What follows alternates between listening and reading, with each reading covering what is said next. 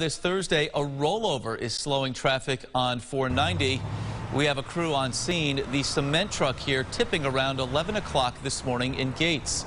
This is 490 East, right near exit 6. The driver of that truck was able to get out safely.